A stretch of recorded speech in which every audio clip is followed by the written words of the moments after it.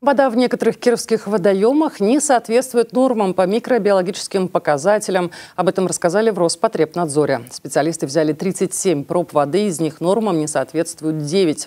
Это пруд в парке имени Кирова, карьеры в поселке Стрижи, река Вятка в районе карьеров у Нового моста, Амутнинский пруд, реки Пижанка и Чепца, Симаковский карьер, Вятка в районе пляжа города Котельнич, река Воя в Налинске.